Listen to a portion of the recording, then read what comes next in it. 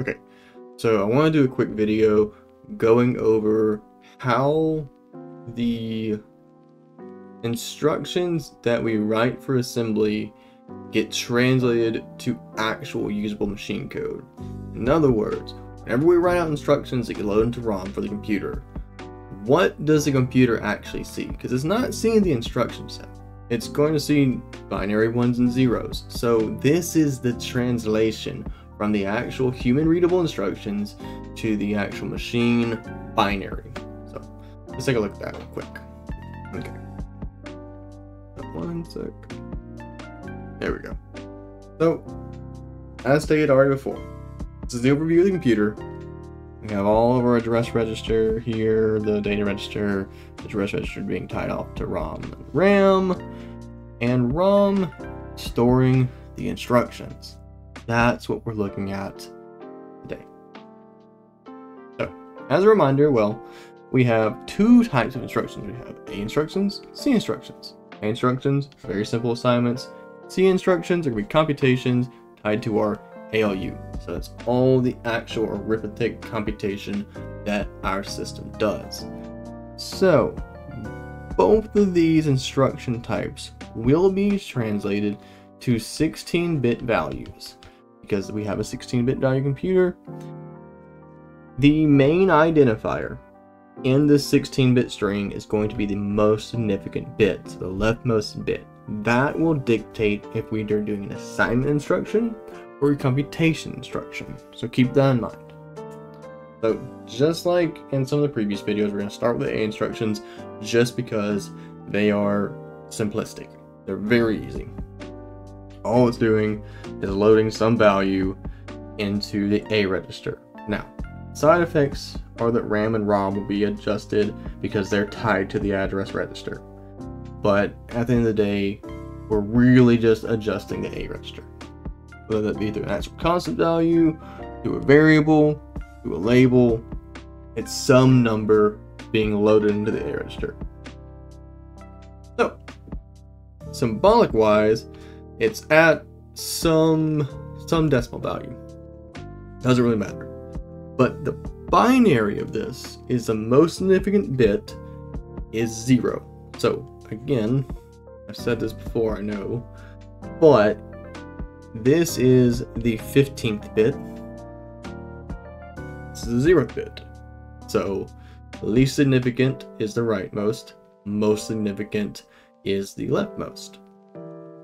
So we have this example here, we have at 6, so the most significant bit gets set to 0, and the remaining 15 bits over here get set to 6 in binary. So that'd be 111, well, 110, and then you pad out the rest of it with zeros. And that's essentially all A instructions are. Just the most significant bit 15, the remaining 15 bits are going to be some 15-bit value in binary. That's about it. Now, uh, C instructions um gonna be a little bit different. They're far more complex. We've already discussed how the setup is. We have maybe a equals zero, some constant value here. Maybe we have d equals negative m with a register being loaded into a register. And then maybe we have something a bit more complicated, such as say d equals a plus uh, not zero, a plus one, or maybe m equals a plus d, something like this. So there is a lot of versatility happening here. So the translation process is going to be significantly more involved than the A instructions were. And this is kind of everything the C instructions can do. Now, right off the bat, the syntax is very important here. So, we have dest equals comp semicolon jump, with both dest and jump being optional. And the reason that is, is because we either have the form of destination equals computation or computation semicolon jump. So we've seen these formats before. So dest equals comp would be something like d equals m, with m being the computation, d being the destination. And then we've also seen the jump before, whenever we have d JEQ, D is a computation, JEQ is a jump.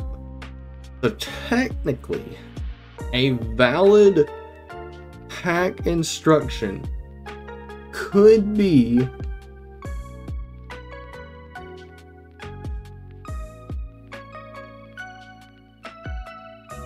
something like this. This would register as a valid hack instruction. Never do this. Ever, never, just never do this. But I digress. Essentially, anything that we can put in the format of destination equals computation semicolon jump will translate to some 16-bit value that the computer can process. Now, like I just said, not every valid instruction is going to be a useful instruction. So, even if we can make all the different computations work with some varying form of a destination and a, a jump, there are time and places to use destinations and jumps. You usually don't combine them. And if you do, you do it in some uh, intelligent, discernible way. You don't just throw everything into every register and basically stuff like this. There's no reason to do this ever. Unless you want to zero things out after you jump. This might actually have some like use case, but like it, it would be extremely niche to do something like this. Uh, it, it would work, but it would be very, very silly to do so. But I digress. Moving on, let's take a look at the actual binary what's happening. So, let's take a look symbolic computation mandatory. There is a computation in every single C instruction, hence why it's a C instruction and why C is computation. So destination can be null, jump can be null. If it is, equal sign is omitted, and for jump, semicolon is omitted. But for binary, it's just the same 16 bits. It's gonna be what gets set to 0 and 1, obviously. So, in this case, notice the first three bits are 1. In the A instruction, well, the 15th bit was 0. Most significant bit was 0. And that is perfectly fine. That is the opcode, the operation code here. The opcode here, 15, or this 1 in the 15th place, is the opcode for C. These two are not used in C instructions, so we just set them to 1 as well. We really don't care until we get to this A these six C's, three D's, three J's. These are going to be the bits that we actually care about in terms of understanding what are we looking at. So we look here, we have an example of symbolic being D semicolon JLE. And if I look at this, I can read that this is going to be 111, so I know it's a C instruction. I know what this A bit does. I know what these next six bits do. One, two, three, four, five, six, yep. And I know what these three, or these two sets of three bits do. If you look at the next few slides, you'll see the actual different translations, and this 16-bit string will make perfect sense. Right now, it probably just looks like a bunch of random ones and zeros. It's not.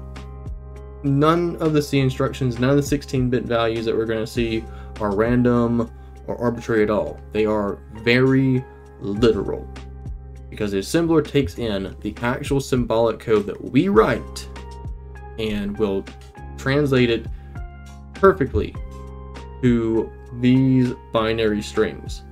It is not random, it is not by chance, it's not going to alter ever. It is a one to one translation. So, let's take a look at how that works. This is kind of the breakdown here. 15th bit is the C instruction opcode, always a 1. These next two are not used in C instructions.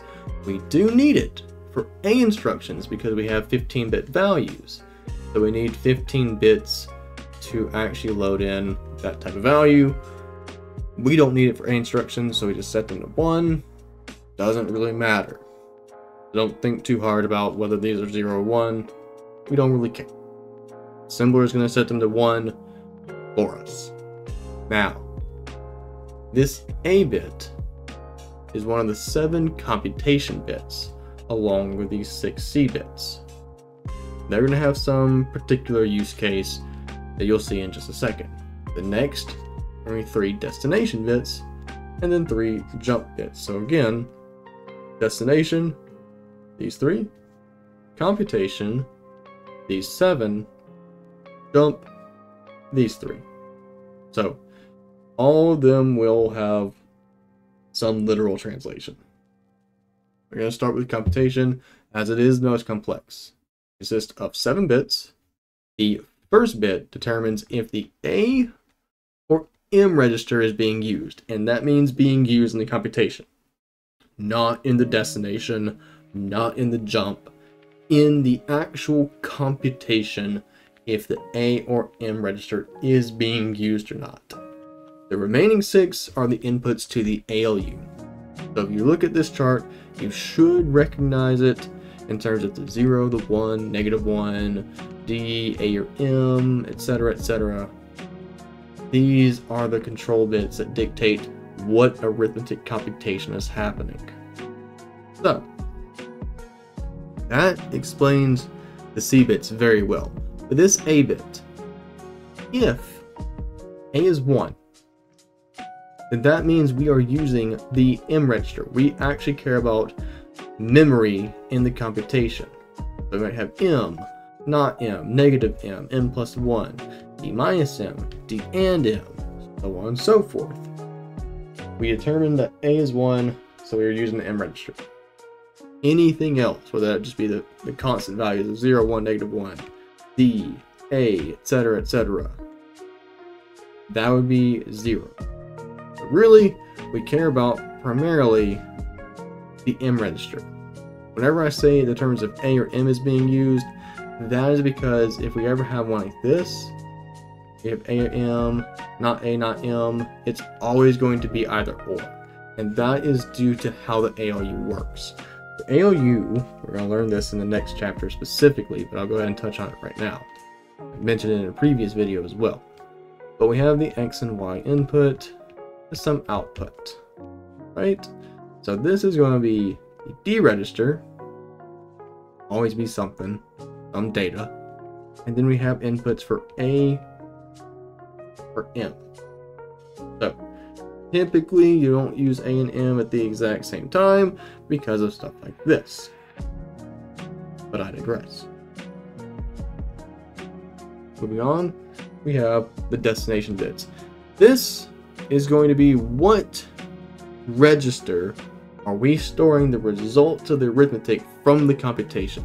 That's why you end up with a format of dest equals comp. So you would omit the jump usually here. So the options are null, AD or M. Column alignment for the table that you see over here is ADM. A, C, M. So if we're not storing it at all, it's going to be null. All zero. If we're storing it in the M register, then we can tell that the third bit, that's always going to be 1. If we're storing it in the D register, this middle bit will be 1 as well.